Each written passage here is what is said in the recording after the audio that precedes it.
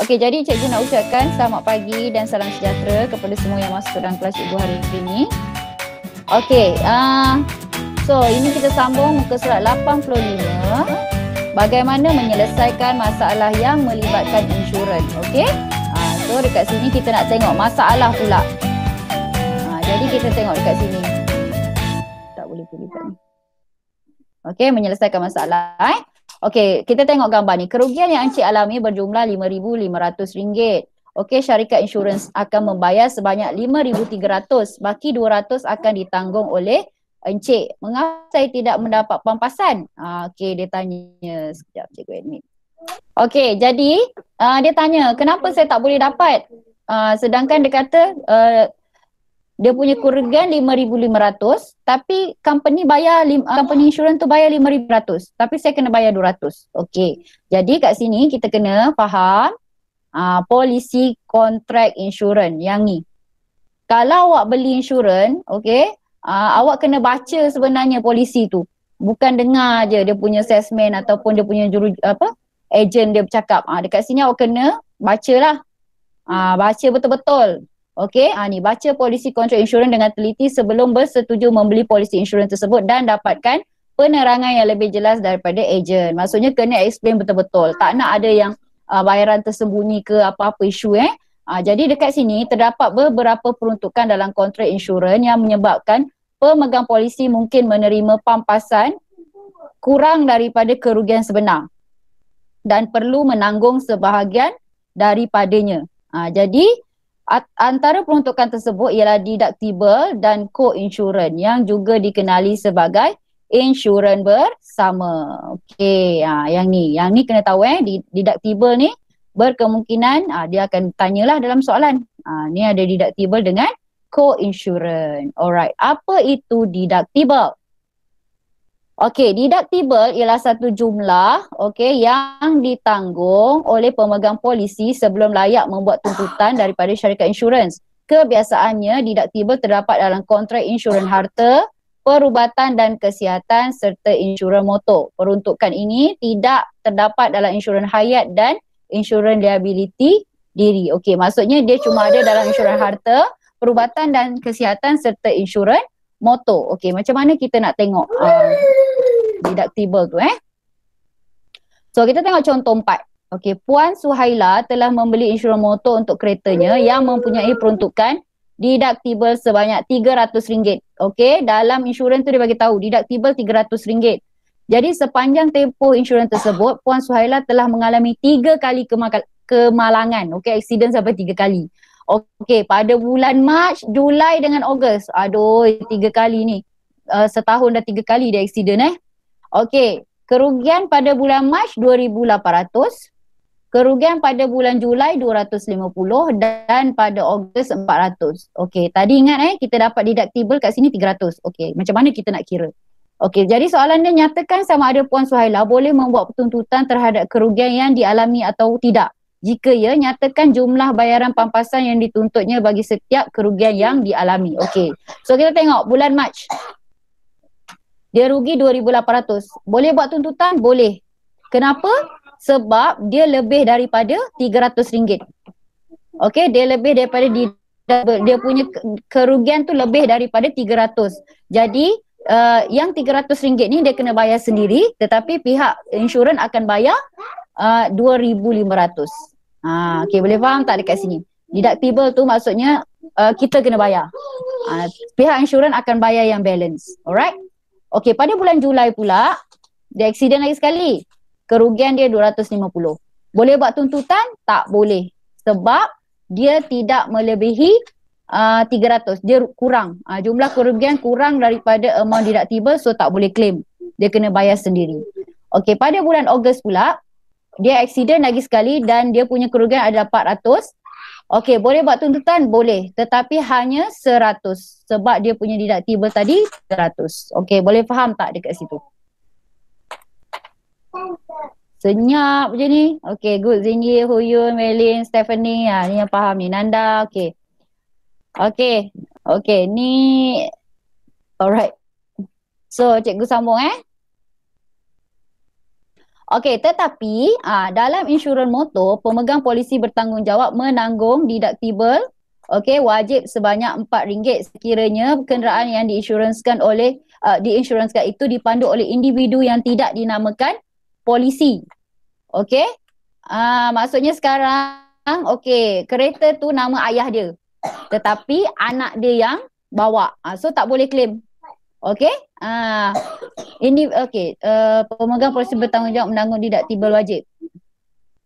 Ah, okey. Kemudian individu tersebut dinamakan dalam polisi tetapi berumur bawah 21 tahun. Okey, katakan bapa dia dah belikan dia kereta. Ah, belikan cenderui kereta. Tapi cenderui itu belum 21 tahun. So kan tak boleh, tak boleh dapat deductible. Okey. Pemegang lesen memandu L. Ah, yang dapat L ni pun tak boleh. Atau pemegang lesen memandu penuh yang kurang dari 2 tahun. Maksudnya uh, dia dah ada lesen tapi kurang 2 tahun pun tidak boleh deductible eh. Okey, dan deductible lain dikenakan mengikut budi bicara syarikat insurans. Jadi kena tahulah syarat-syarat sebab tu cikgu kata kalau beli insurans tu awak kena faham uh, apa yang dia promote dekat kita. Okey, lepas tu kena baca.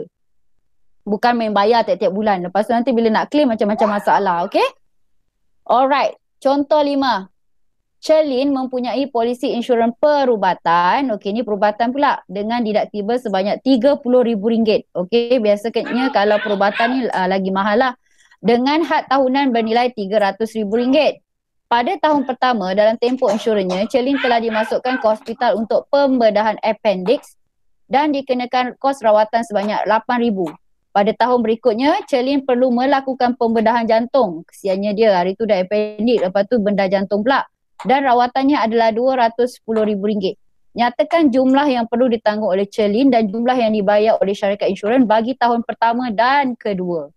Alright, so kita tengok tahun pertama dia dia operate appendix RM8,000. Okay, kita tadi tengok kita punya deductible adalah RM30,000. Jadi kurang daripada RM8,000. Jadi siapa yang nak kena bayar RM8,000 ni? Insurans bayar tak? Tak, okay good. Insurans tak bayar eh sebab uh, dia uh, kurang uh, kurang daripada deductible yang dia dapat. Okay good.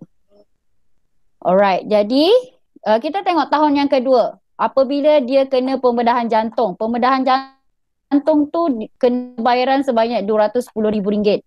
Okay, tapi Sterling kena menanggung RM30,000. Okay, yang lain ni RM180,000 insurans bayar pampasan kepada dia. Okey, itu maksud deductible. Okey, berapa yang kita kena bayar. Alright. So, seterusnya co-insurance. Okey, apakah co-insurance dalam insurans harta? Co-insurance ialah perkongsian bersama kerugian antara syarikat insurans dengan pemegang polisi. Maksudnya sama-sama share dia punya kerugian. Alright. Jadi pasal co-insurans dalam insurans harta, pemegang polisi dikehendaki menginsurankan hartanya okey pada satu jumlah tertentu berdasarkan peratusan co-insurans yang telah ditetapkan oleh syarikat insurans daripada nilai boleh insurans harta tersebut. Okey, sekiranya peruntukan co-insurans ini tidak dipenuhi, pemegang polisi perlu menanggung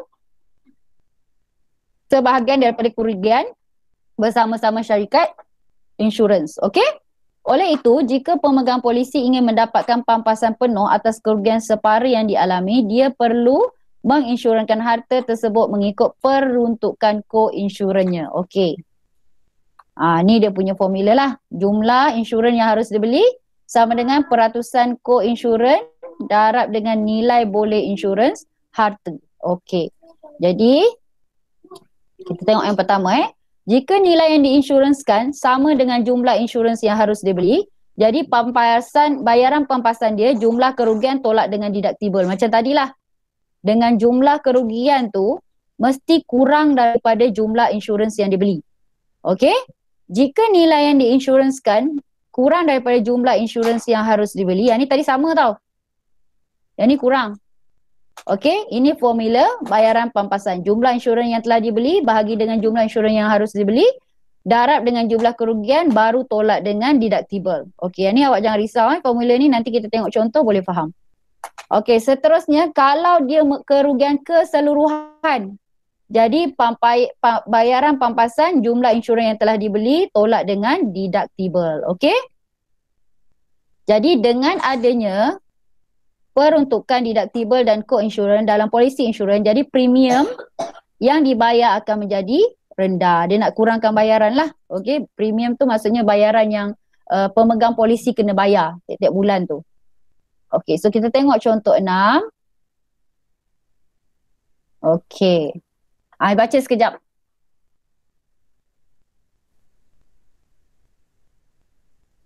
Okay, So contoh enam, Encik Ismail ingin membeli insurans kebakaran untuk rumahnya.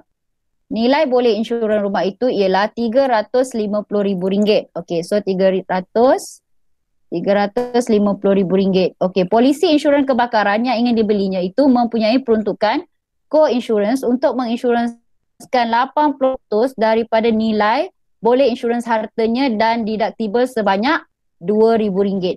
Bila baca soalan kena listkan lah ataupun kena highlightkan apa benda perkara yang penting dekat dalam polisi tersebut.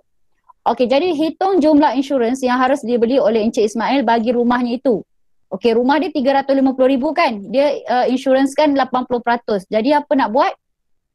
Ni jumlah insurans yang harus dibeli adalah 80% darab dengan RM350,000.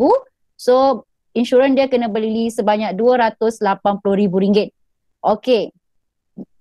Kemudian B, rumah Encik Ismail telah mengalami kebakaran. Okey, dah terbakar dan jumlah kerugian adalah RM25,000 hitung bayaran pampasan yang akan diterima Cik Ismail jika dia menginsuranskan rumahnya pada jumlah insurans yang harus dibeli. Okay. So bila 80% tadi dia dapat deductible berapa? 2000 kan? Ha, jadi uh, 25,000 ni tolak dengan 2000 jadi dia dapat pampasan ni lah. Ha, okay. Dia dapat pampasan 23,000. Okay. Yang kedua dengan uh, jumlah 150,000 seterusnya hitung nilai penalti co-insurance.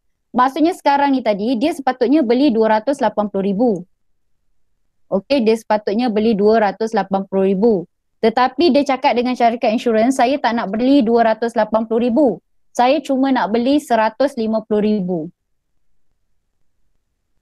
Okey, 150,000 ini adalah nilai dia kurang daripada 280,000. Okey, ni yang formula tadi ni. Ah ni. Nombor dua. Dia beli kurang daripada yang syarikat insurans cadangkan. Syarikat insurans tadi kata 80% kan? 80% tu bersamaan 280,000. Tetapi dia tak nak beli 280,000. Dia nak beli 150,000. Okey, kemudian berlaku kebakaran. Ah, jadi, apa yang berlaku dekat sini? Bayaran pampasan dia uh, 150,000 ni awak bahagi dengan 280,000 darab dengan 200 uh, sorry 25,000 ringgit. Okey, jadi awak dapat nilai ni 13,392 ringgit 86 sen tolak dengan 2,000 jadi nilai yang bayaran pampasan mudah ni.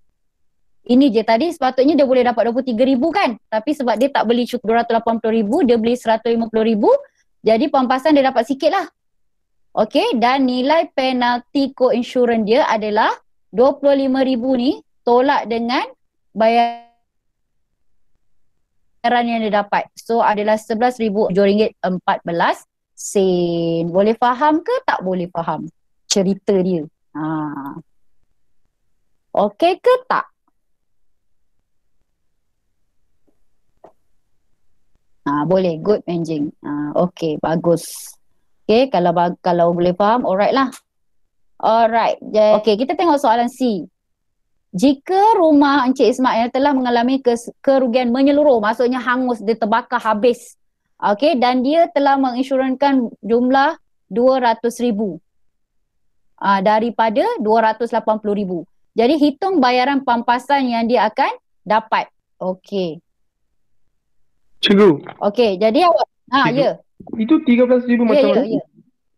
Yang 13,000. 13,000 ni, ha? 13,000 ni, okey. Tadi kan cikgu cakap uh, dekat atas ni, uh, dia sepatutnya kena beli 280,000 kan? Ni, dia kena beli 280,000. Betul?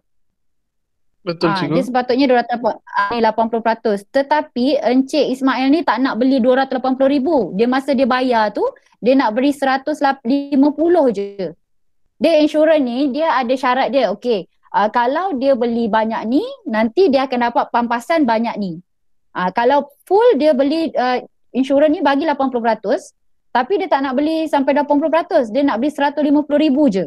Ah uh, itu yang da- tadi darab uh, bayaran pampasan dia. Kalau yang atas ni dapat full kan? Yang soalan A. Soalan A dia dapat full.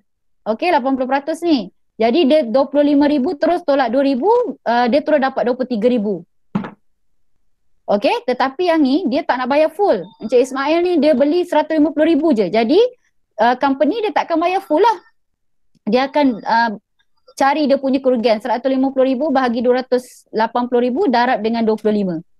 Ah uh, so dapat 13. Okey ke tak okey? Okey, cikgu. Ah okey. Ah jadi uh, 13,000 ni tolak dengan di, 2,000. 2,000 tu deductible lah maksudnya apa yang dia kena bayar. Alright. Jadi uh, untuk soalan C dia kata 200,000 kan? Okey. 200,000 ni uh, tolak dengan deductible terus. Okey. So 198,000. Tetapi uh, kerugian yang ditanggung adalah ini. Sekejap, soalan dia apa? Okey. Rumah dia habis tau. Rumah dia habis terbakar. Harga rumah dia tadi RM350,000. Okey, tetapi dia uh, dia cuma insurankan rumah dia RM200,000. Jadi bayaran pampasan yang akan dia terima adalah 2000 tolak sorry 200,000 tolak dengan 2000 dia akan ada 198,000 saja daripada pihak insurans dan kerugian yang dia akan tanggung harga rumah tadi 350,000 tolak dengan 198,000 jadi kerugian dia adalah sebanyak 152,000 okey boleh tak Okay, good. So dekat sini, jika pemegang polisi menginsurankan hartanya dengan jumlah lebih besar, maksudnya dia bayar lebih mahal kan? Uh, daripada jumlah yang harus dibeli mengikut peruntukan kod insurans, bayaran pampasan yang dihitung uh, menggunakan rumus kod insurans akan melebihi jumlah kerugian sebenar. Okay? Walau bagaimanapun, syarikat insurans hanya akan membayar bayaran pampasan tidak melebihi jumlah kerugian yang sebenar. Contohlah, dia bayar pampasan lebih bukan 280 ribu, eh, bukan pampasan, dia beli insurans lebih. Katakan dia beli insurans 300 ribu. Okey, tetapi uh, kebakaran tu dia hanya 280 ribu. Uh, uh, tapi uh, pihak insurans dia tak akan bayar 300, dia akan bayar 280 je yang terbakar tu. Uh, dia walaupun kita bayar mahal lebih, dia tak akan cover untuk yang dia tak rugi tu. Uh, jadi memang dia akan kira betul-betul lah berapa kerugian. Okey? Okey, Ah, co-insurans dalam insurans kesihatan. Okey, tadi kerugian uh, untuk harta. Okey, ini dari segi kesihatan. Okay, sekejap cikgu nak. Okey. Dalam konteks insurans kesihatan, co-insurans ditetapkan dalam fasal penyertaan peratusan khasnya bagi polisi insurans perubatan utama. Okey, dalam ini pemegang polisi dikehendaki menanggung sebahagian kos perubatan dilindungi kontrak mengikut sadar yang dipersetujui selepas mengambil kira peruntukan deductible. Okey, sekiranya ada. Sebagai contoh, penyertaan peratusan 80-20 bermaksud syarikat insurans menanggung 80% daripada kos perubatan dan 20% akan ditanggung oleh pemegang polisi. Maksudnya kalau 80-20 ni insurans bagi awak 80, 80% uh, tapi diri sendiri kena cover 20%. Okey, kita tengok contoh. Puan Chen mempunyai polisi insurans perubatan utama dengan peruntukan didaktiba sebanyak RM500. Okey, pasal penyertaan peratusan koinsurans 75 25. Maksudnya 75 company bayar ataupun insurans tu bayar, 25 kena tanggung sendiri. Okey, hitung bayaran kos yang ditanggung oleh syarikat insurans dan Puan Chen sendiri. Jika kos perubatan yang diludi polisinya berjumlah RM20,600. Okey, jadi kos perubatan selepas deductible RM20,000 tolak RM500. Okey, sebab dia dapat deductible RM500. So, dia akan uh, kongsi untuk bayaran kos perubatan sebanyak 20,100. Okay, jadi berapa syarikat insurans akan bayar? 75% daripada 20,100 insurans akan bayar ini. RM15,075. Okay, Puan Chen bayar berapa? Puan Chen tadi 25%. Okay, darab 20,100 uh, dan dia ada tambahan RM500 ni. Maksudnya yang ni dia kena bayar sendiri kan? Ha, jadi inilah bayaran yang dia bayar untuk uh, kepada hospital tersebut. RM5,525. Okay, boleh tak? Ada soalan? Ke tak okey? Okey, boleh. Bagus. Okey, so kita boleh habiskan hari ni. Minggu depan cikgu akan masuk bab empat eh. Alright, jadi uh, apabila membuat uh, pilihan insurans yang terbaik, okey, yang pertama sekali awak kena tahu berapa jumlah perlindungan yang diperlukan. Okey, kemudian faham konsep perlindungan, terma dan syarat polisi. Kena baca betul-betul okey? Sebab uh, sebenarnya banyak kes uh, beli insurans tapi bila berlaku sesuatu banyak benda dia tak cover. Sebab uh, pemegang polisi tu dia tak faham ataupun dia dia tak jelas dengan apa yang dia boleh dapat okey kemudian bandingkan kadar premium dan manfaat insurans. Maksudnya berapa nak kena bayar ni. Okey dan apa yang dia akan dapat. Dan elakkan perlindungan yang tidak perlu. Maksudnya perlindungan yang macam mm, tak logik lah. Rasanya mungkin kita tak akan berlaku tu ah, kita tak payahlah.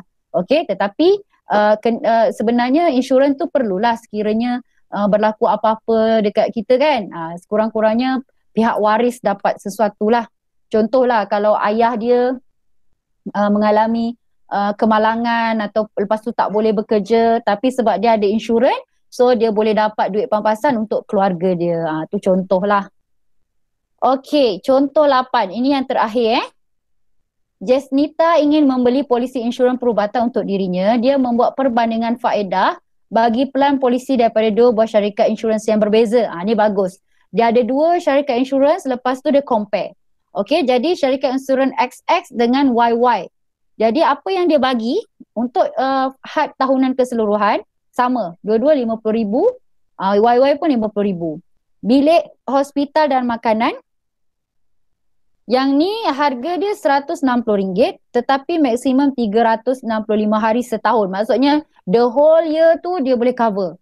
Tetapi untuk bilik hospital uh, company YY ni RM200 tetapi maksimum 200 hari setahun. Ni 365 hari. Tapi ni murah sikit. Ini mahal. Okay, unit rawatan rapi atau ICU. Ini ICU. Okey, mengikut charge yang dikenakan maksimum 90 hari setahun. Ah yang ni dia dia uh, 400 je, limit RM400. Ah tetapi hari, hari dia pun 90. 90 hari. Maksudnya lebih daripada 90 hari kena bayar sendirilah. Okey, allowance tunai harian di hospital kerajaan. Okey, kalau masuk hospital kerajaan, ini dia akan bagi allowance sehari RM100 sepanjang tahun 365 hari. Yang ni sehari RM50 tetapi maksimum 200 hari sahaja. Tetapi premium tahunan yang perlu dibayar untuk yang ni RM506 uh, RM506 2 sen. Tetapi yang YY ni RM637 2 sen. Berdasarkan jadual tersebut, pelan polisi insurans yang manakah lebih baik untuk Jasnita? Okey, cikgu nak awak fikir sekejap. Apa jawapan dia? Ah, mana yang lagi bagus? Siapa boleh jawab? Okey, Wenjing jawab XX. Orang lain? Okey, Stephanie, Nanda, okey semua XX. Kenapa XX? Ah, kenapa? Ah, kenapa? Yuvin, kenapa? XX. Murah. Okey. Uh, memang murah. Tetapi selain daripada murah, Ha, selain daripada murah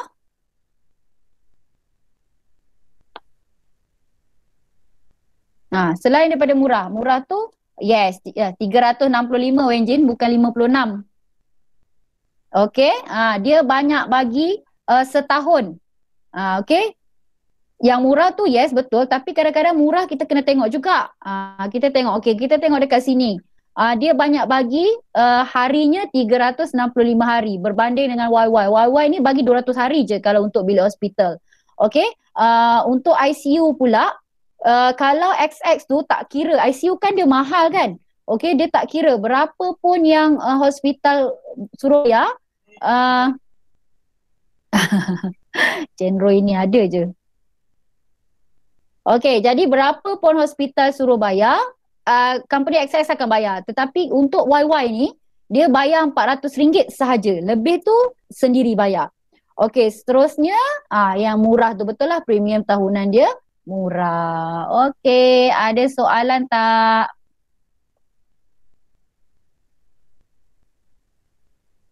Ada soalan tak? Laju je dia nak bye-bye kat cikgu. Okay. So ini yang kita dah belajar untuk topik ni. Ah, Loli Hong dah masuk. Loli Hong baru masuk eh. Ke dari tadi cikgu tak perasan? Okay. Ah, tak apalah. Nanti cikgu akan bagi soalan. Okay, awak buat. Sabarlah Stephanie. Nak bye-bye pula dia. Sekejap. Okay, tengok ni. Jadi ini yang kita dah belajar. Good night. Lepas ni tak ada kelas ke? Okey sempat sampai 9.15. Ah tapi jangan lupa buat cikgu punya kerja. Okey risiko dan pelindungan insurans. Okey yang ni kita dah belajar eh. Semua dah belajar. Yang ni kita dah belajar masa dekat sekolah. Ini dah belajar kat sekolah, kat sekolah, dekat sekolah. Okey ni kita belajar minggu ni. Okey ni kita dah selesaikan deductible dengan co-insurance. Okey, jumpa lagi. Bye. Good night. Alright. Ah, Melvin pun ada. Okay. Okay, bye. Terima kasih semua. Okay.